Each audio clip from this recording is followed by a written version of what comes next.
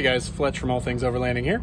Um, just wanted to put together a really quick video for you to kind of just give you an update on the truck. So if you followed the channel, you've probably seen that I had a power steering leak and I'm gonna flip this around and I'll show you exactly what I'm talking about here. So on my old power steering line here, which I now believe is a low pressure line, I'm not 100% sure, which is why I just replaced the whole thing instead of doing like some sort of an aftermarket uh, power steering oil cooler, which is basically what this thing is. So this runs from right back in there, it connects that tube. So you gotta, you know, use some pliers to separate those, uh, that clamp and move it back.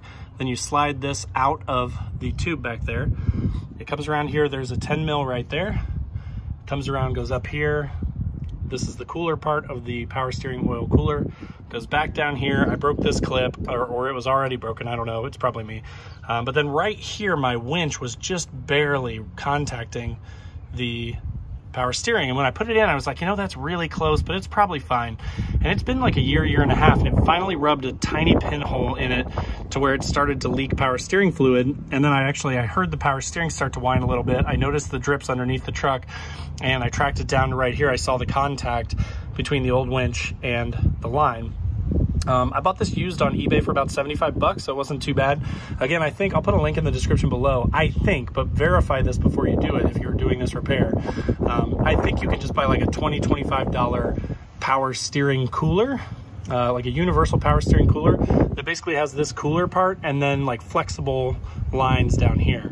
Um, and what that would do is if you are contacting or rubbing or have anything like a winch or anything like that, so any sort of a hole, it's a really cheap fix to then be able to basically, you know, maybe cut off this line right here or put a burr on the end of it or, you know, get enough line that you could just run it all the way through there.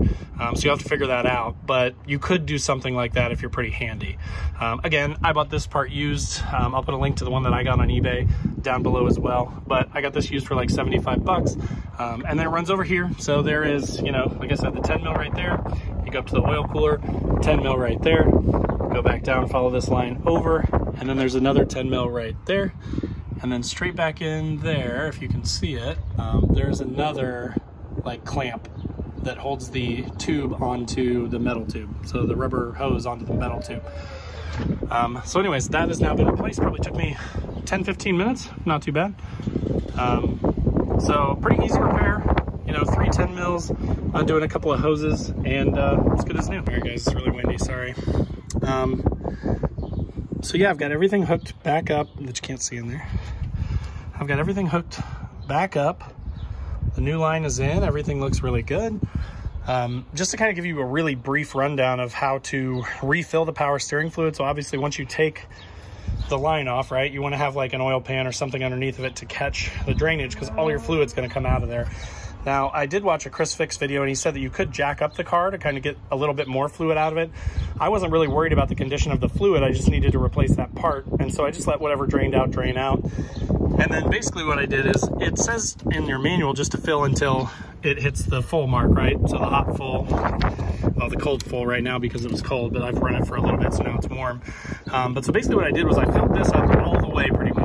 Don't want to overfill it, but the first time when you're first putting that fluid in, it's going to have air in the system, right? So as I was pouring it in, I filled it up to the top. I gave it a few minutes, kind of let it settle. Um, and then what you do is what the Chris Fix video said, was that you turn on the car just for like two, three seconds maybe. You don't want to hear any loud noises or anything like that. You don't want to hear the power steering whine.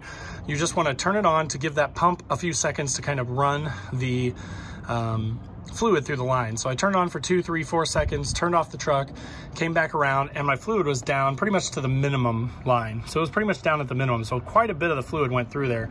Um, so what I did was I filled it back up to like a little above the max hot line. So, you know, what would be the max that you would want it to be at when you're hot. And then I turned the truck on. And then what I did was I did lock to lock three times. So I did turn the wheel all the way to the right one time till it locked, all the way back to the left one time till it locked, and then all the way back to the right, and then I centered it again. So that's it.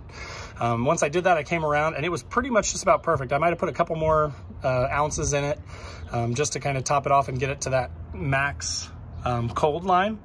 And, uh, and then I ran the truck for, you know, 20, 30 seconds and just kind of let the, the air go through it. I came around, I looked at it and it was, there were no bubbles in it. It was just, you know, smooth as could be in there. The fluid is, looks really good.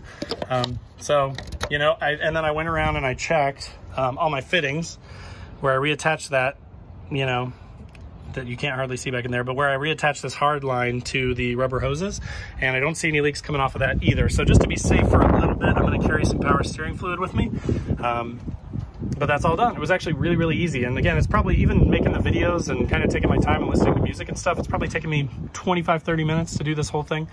Um, super, super easy. So if you guys are doing this, tackling this job, and you have any questions, feel free to post up in the comments below. I'd be happy to help. Um, but now it's time to put the winch in here. So let's go. All right, guys, so this is the winch. Um, you know, previously I had a Smittybilt 9500 XRC uh, winch that was nice and, and, I used it I only had to use it a couple times but it worked really well didn't have any problems with it I just figured you know when I was taking that out it's probably about five or six seven years old now that winch um, it's been sitting on the truck for the last couple years this is a brand new one that I had in a box that I got because it was a good deal uh, year ago. Just been sitting in my garage in the box.